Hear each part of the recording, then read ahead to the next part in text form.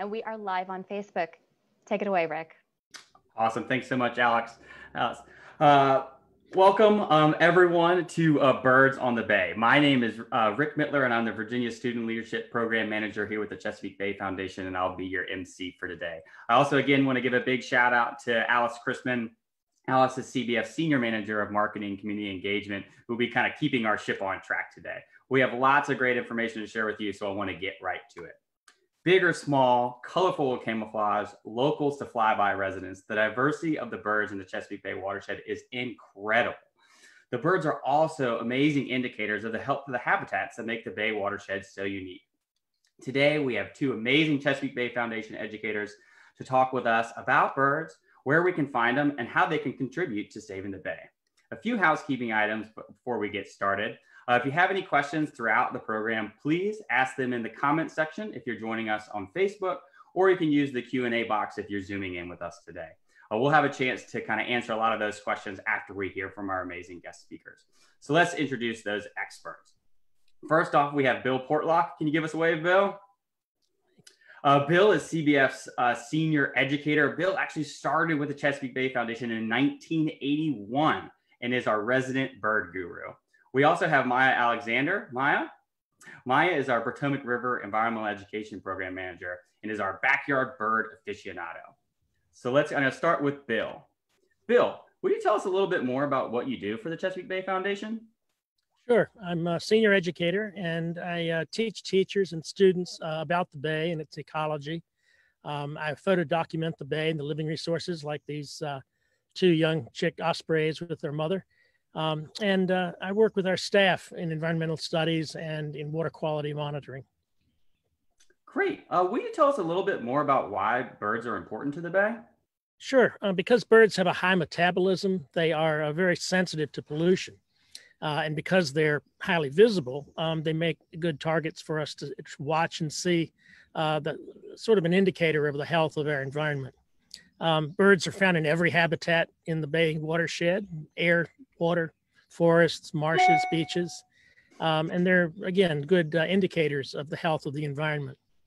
Um, they're also early messengers um, for telling us about the uh, about the bay. Um, the eagle, I think the next picture has uh, bald eagle. They, of course, went through a decline, serious decline in the 1970s due to a persistent pesticide called DDT. So uh, sometimes the presence or absence or decline of birds can indi- be good indicators. Um, also, um, birds are important for providing um, ecological services. That's uh, such as pollination with a ruby-throated hummingbird and a lobelia, a cardinal flower. Um, they also are good at seed uh, dispersal, Carolina wren here. And the flycatchers and swallows are uh, important in controlling noxious pests, insects, uh, predators that uh, also uh, raptors that eat small mammals are uh, really helpful in, in keeping our uh, Earth and our planet healthy. Um, another uh, role of birds uh, is that of the uh, turkey vultures, which are the scavengers. Um, these beautiful birds really do a great service to us in, in uh, cleaning carcasses up. So this, the last, I guess, would be the economics of birding. Um, it, there's a sizable number of people that are looking for birds these days, and uh, they spend money in communities where birds are uh, sometimes especially numerous. So those are just some of the ways birds benefit the bay. Awesome, thanks, Bill. What does what does the presence of birds mean when we see birds out in our watershed?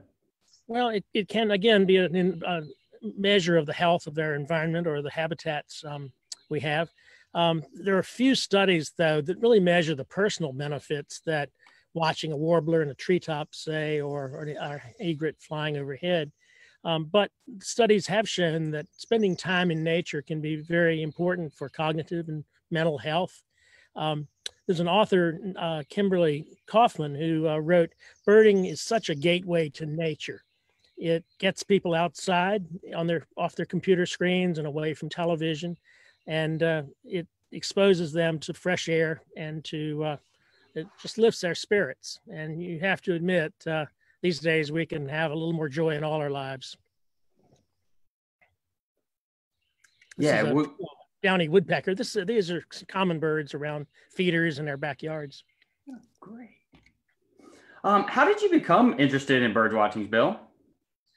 Well, I had a professor, ornithology professor in college, who shared his passion for birds with me.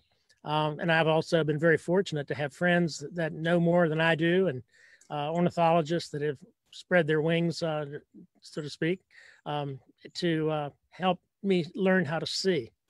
Uh, in particular, uh, this bird, indigo bunting, uh, was one of the early birds that I saw when I was learning to, about birds. I knew herons and eagles and ospreys, but small songbirds I hadn't paid much attention to. And a friend pointed out one. I wasn't so sure what it was, and it took me about half an hour to find it. And then, uh, sure enough, it was exactly what he had said it was. And I thought there must be something to this. So I've uh, been captivated ever since. So we know spring is in full bloom throughout most of the watershed, but what are some of like the best seasons for for watching birds? Oh, all seasons. Um, this tufted titmouse is a resident uh, around my yard, but um, this time of year in spring is the peak of the migration. Spring migration has literally millions of birds that are pouring through North America, coming up from the south from the tropics, and they're going to Canada, many of them, and uh, they spend a few nights and days with us here. Um, in the summer, we have residents that are nesting, and uh, of course, fall is the time for uh, birds as they've grown. Here's a pelican uh, rookery in the, near Smith Island in the Maryland portion of the bay. Um, and wintertime is the time when we get uh, uh, waterfowl, the ducks and swan and, and geese coming in. So really all seasons have something to offer people that want to see birds. So I know we don't have enough time to talk about every single bird in the watershed, but I know there are some key species that are out there. So what are some of those popular birds that we might find throughout the Bay watershed? Well, there's a term called charismatic megafauna, meaning the, the larger birds or, or animals uh, tend to have more human attention and, and uh, watching. But uh, there are uh, certainly eagles have made a big recovery in the Chesapeake Bay. Here's a pair. The female is on the left. She's a little larger than the male. Um, and they, uh, of course, went through a huge decline in the 1970s due to the DDT, uh, the pesticide contamination um, they're back and in fact have grown uh, the population at about 10 uh, percent a year increasing since uh, for two decades so just about anywhere in the bay you can see eagles if you're in the right habitat meaning you're near water um, osprey are another bird that's iconic in the bay they tolerate humans well so we do see them often around our uh, front uh, our waters in the in the bay great blue herons and, and herons in general are um, also common birds and, and pretty large area birds uh, seen around the bay. Great blue herons are probably the one that is the uh, the birds most widely dispersed on our rivers and the bay. So, what are some birds that kind of have some interesting quirks? Like, what are some of those unique birds that we might find in the Bay watershed? Well, this uh, slide is one. These are uh, Wilson snipe, they're a type of shorebird that's found in freshwater tidal wetlands quite often. Uh, they're a common bird, but they're hard to see. They, they blend in very well unless they're flying like here. But their uh, behavior is um, unusual in that the males and females mate, they build a nest, they raise, they have uh, four eggs typically. And as the female lays those eggs, the first two that hatch go off with their father and he raises them. And then the last two eggs are hatched and they stay with their mother and the, uh, they don't see each other again. An- another interesting bird i guess would be the chipping sparrow.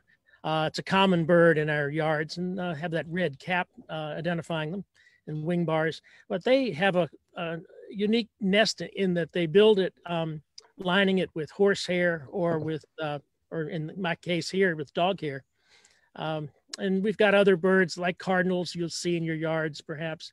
Um, they mate for life and they sing and duet each other in the mornings. The male will sing part of a song, the female or will follow it up or vice versa. So there's a lot going on in the bird world if you take your time and, and listen and, and watch. All right. Thank you so much, uh, Bill, for sharing all that and kind of about where, some of these different birds that we might see throughout the Bay watershed. But now I kind of want to turn it over to Maya. Again, Maya is our uh, Potomac River Environmental Education Program Manager. Typically, Maya would be aboard the B. Hayman Clark, our one of our education vessels, leading participants on a hands-on investigation of the Potomac River. Uh, but fortunately for us today, she's here to share with us how we can watch some of our feathered friends. So Maya, I was hoping you can just kind of talk to us about how we could start finding birds, especially kind of during these times of stay-at-home orders. Yeah, absolutely. Um, for me, I'm finding that bird watching during these times, I mean, very therapeutic and great for my mental health. I know Bill mentioned it um, earlier, but it's great. And the great thing is that it's easy um, as long as you have access to the outdoors. So maybe you have a porch, a backyard, cool, but even better, a window. You don't have to travel very far to see birds because they live just about anywhere. Great, that's awesome. So I know you've mentioned before that you're you're a new birder um, and new to the bird watching world. But what are some things that have surprised you, or might surprise the audience, that you've learned um, more as you learned about bird watching? Yeah, for me, yeah, I'm by no means an ornithologist. So for me, what was surprising, I guess, getting started um, with birding is that you don't have to be so focused and caught up in knowing every single bird because there's so much knowledge and so much to know about these birds. Um, but just kind of starting off at your own pace, you really can make the birding experience unique to you.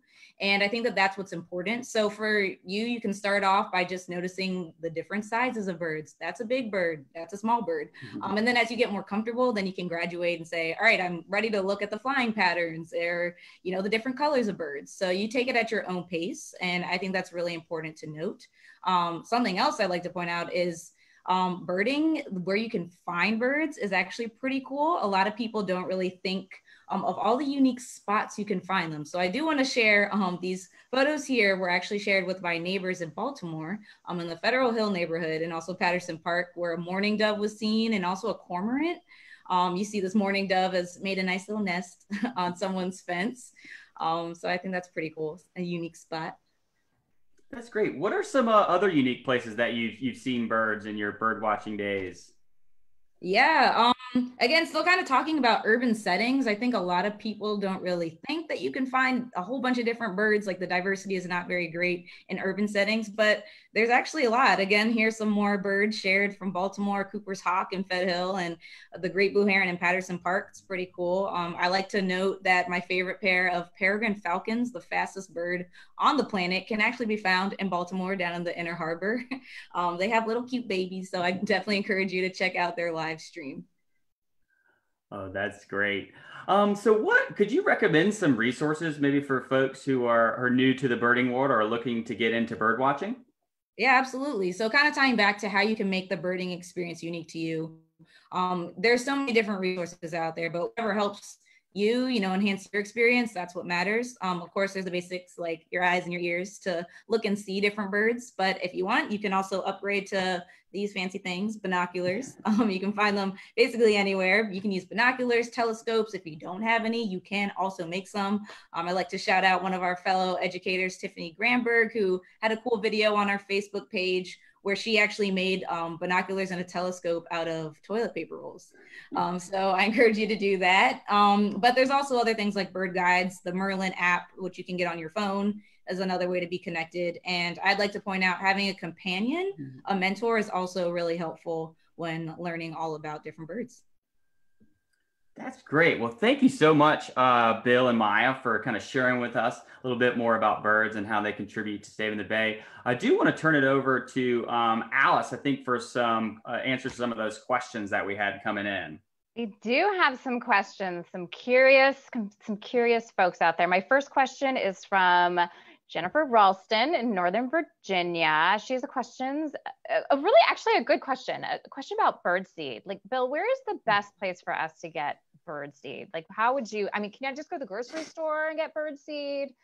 Or what would you recommend? Well, yes, you can. Uh, it's found in, in garden centers and grocery stores. Um, there's several kinds. Um, I particularly like black oil sunflower seeds. They tend to attract of, a good variety of birds. Um, and there's another type of uh, food you can put out is it's a suet bar uh, or cake. It's um, can be hung in a cage, wire mesh basket, and uh, in your yard, and that will attract woodpeckers and, and other uh, songbirds as well. So let me ask you this question. Do you happen to, I know you're in your backyard in Virginia because we're all social distancing right now. Do you happen to have one of the, these, these bars that you're talking about hanging anywhere near you in your backyard that you could possibly show us right now? Uh, sure. Uh, oh, that would be great. Not too so far from Bill's backyard in Virginia, as you can see. And for a fun fact, I know that the picture on the home slide was a bird that was in his backyard this morning. Oh my goodness, so many. Can you see that?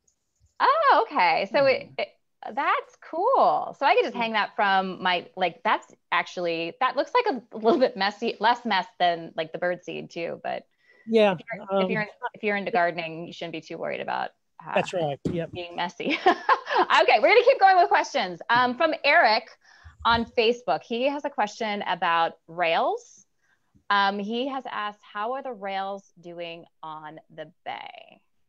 Don't know. That's a good question. Um, it there are several kinds. Uh, there's clapper rails, king rails, Virginia rails, um, and black and uh, rail and yellow rail. The black rail is one of the rarest birds in North America, and in, unfortunately, it's declining because of the sea level rise associated with global climate change. Um, the marshes are simply being immersed in seawater and, and not suitable for reproduction for black rails.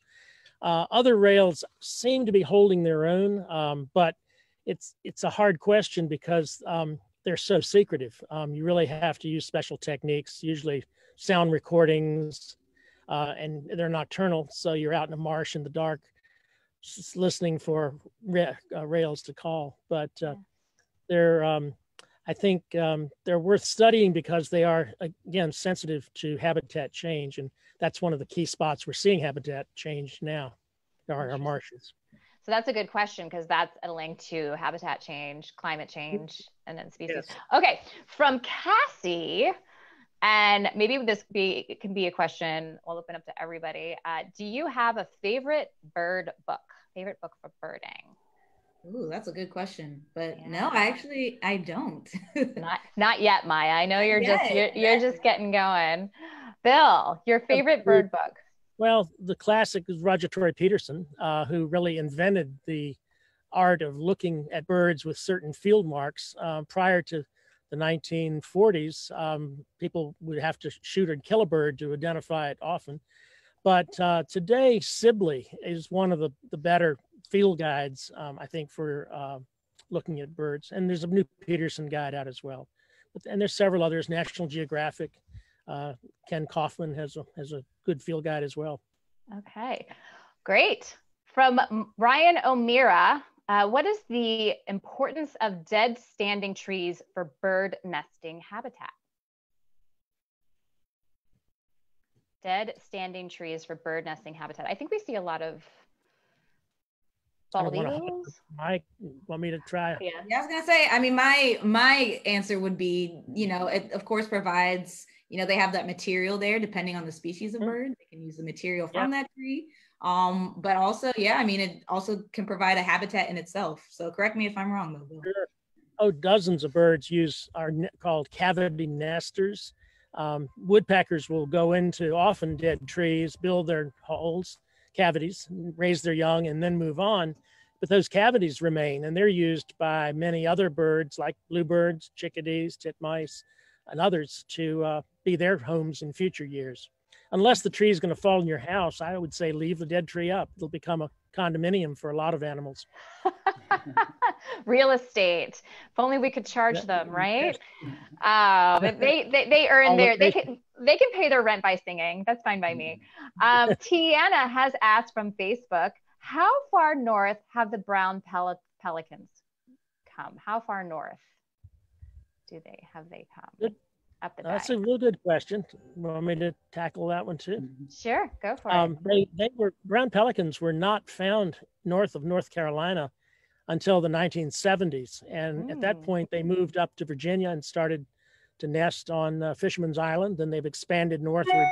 And there's a colony on Smith Island in Maryland, Shanks Island. It's just south of Smith. But um, they do go farther north in the in the uh, late summer after the pelicans have finished reproducing.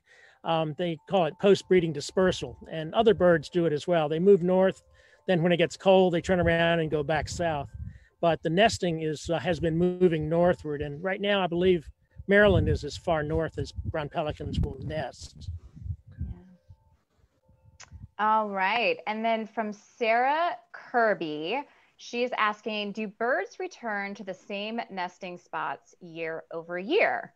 I noticed great blue herons in my area continue to build nests above a quarry each year. I see blue herons here all the time. And I, I like they're my birds. I don't know if I like because I see them all the time. So that's a good question. Yeah, I'll let whoever wants to address that one. Maybe we can start with Bill and see if other folks have seen stuff. Because I know Rick, you've been out in the field a long time, so you may have seen some some birds out there too. So the question was, do birds return to their same mm-hmm. nest spot?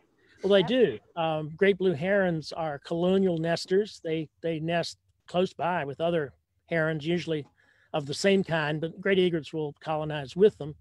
Um, and the great blue heron rookery, they call them, um, start with a few bird nests and then as they if they're successful other birds are attracted to the site and they can grow to be as many as maybe 50 or 75 nests um, and i think they return to the site but their nests are pretty flimsy and they don't usually last through the winter mm-hmm. storm so they rebuild uh, each year but birds like uh, eagles and, and osprey also return to their nests and rebuild usually just building on uh, so an eagle nest um, can, I think one record was uh, 12 feet in uh, depth and about eight feet in diameter, weighed a couple of tons in Florida. But the uh, the birds will renest, uh, and often if it's a good site, that's an attractant for them to come back to it. Yeah yeah, there's a, a, small tributary off the James River that I've been, able to frequent with a few students via uh, canoe. I mean, we often get to see around this time of the year actually the prothonotary warbler, which is a mm-hmm. really unique bird. It's really awesome. Uh, the VCU, Virginia Commonwealth University, is doing a big study on them, and these birds are migratory birds, and they'll travel down to Central Central America, like all the way down to Costa Rica, and hang out in the mangrove forest and they have recorded, they've banded these birds and they'll come back and they have found that they'll go back to the exact box that they were that they were hatched in mm-hmm. um, to lay the the next set of young. So it's really amazing that this small bird about this big um, kind of looks like the color of, of mustard, um, or uh, or if they're the males, or the uh, Golden's mustard if they're the females, um, and then um, we'll travel back to that box. It's really unique that they'll come That's back to that unique location. So I can like get a bird that matches my decor to come back to the same nest every year. Can I get? I hope. Yeah, there you go. that would be so amazing. Rick is the first year. All righty. So um, Carrie Snavely uh, has asked um, for any tips for photography. And again, I'm going to start with Bill and then we can see, go through the crowd because I know Rick has been with us for a long time too and taken lots of pictures. So, yeah. Um, well, like the pictures you saw earlier of mine, um, I think patience is probably the virtue of photography and with birding. Um, I would say too, you know, if you can find a bird and see its behavior, you don't want to interrupt their own behavior because they have an energy budget. You don't want to intrude and have them defending it over your presence versus them going about their life.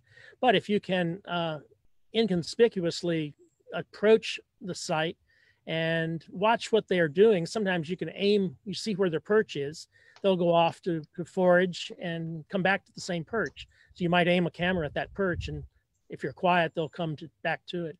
Of mm. course, you probably need a longer lens than a, than a wide angle. You, something usually a, a telephoto is a helpful t- tool for photographing birds. All right, good to know. And we have one more question that will close off our question. We've talked a lot about being able to see birds. And um, where where can we find some fancy fancy to non-fancy binoculars these days? Ooh, I mean, a lot of sporting, you can find them like at REI. I mean, I'm sure Dick's has them too, but I mean, given the state that we're in right now, online, just Googling um, where you can find some, I'm sure Amazon has got um, some fancy um, binoculars there. Um, Great. Awesome. I, that is going to wrap us wrap us up for the Q&A today, Rick. Why don't you take it from here? All right. Thanks so much, Allison. Thanks again uh, for Bill and Maya. And thanks for those amazing questions coming in. Um, so I do want to uh, highlight a few things that we're doing here at the Chesapeake Bay Foundation. I really want to point out our Walk the Watershed campaign. Um, so this campaign runs from March 7th through June 30th. So we're at prime time for this.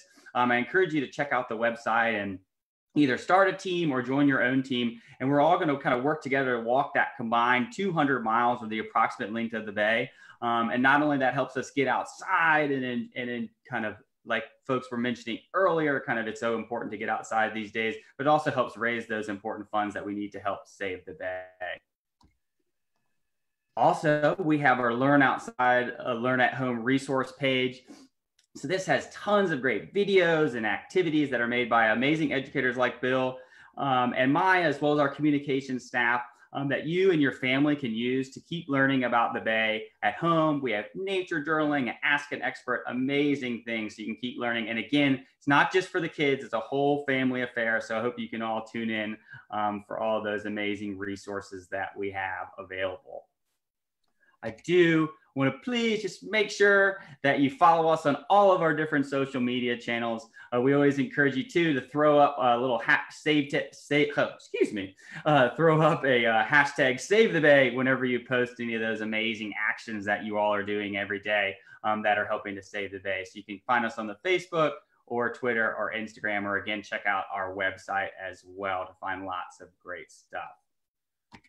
So, since you came to this webinar, we hope that you'll kind of join us for our upcoming webinars. We have some really special stuff. Next week, uh, next Wednesday, we're actually going to be joined by Dr. Fred C. Dobbs, who's going to kind of give us a little deep dive into microplastics and how that's impacting our waterways. Um, and then early in early June, we'll be um, exploring um, fisheries. So again, make sure to check out that cbf.org slash webinars to kind of have all those places um, to link in. And so save those dates for those upcoming webinars. So I did want to share and give a big thank you and a big virtual round of applause to our amazing expert um, educators. Again, Bill Portlock, our uh, senior educator, and Maya, our program manager at the Potomac River Environmental Education Program. Thank you all um, so much. Thank you again to Alice um, for all of your help um, keeping our ship on track today and keeping, the, keeping us timed and our, our questions coming in. So I do want to leave you all again with our last little um, moment of sin, of zen. and what's really great about this photo is this actually was taken by Maya Alexander. So Maya, can you give us a little uh, summary kind of about what's going on here? Yeah, so this is actually um, a picture of the bay um, from one of my favorite spots down at our Karen Noonan Center. All right, so we'll take a little moment.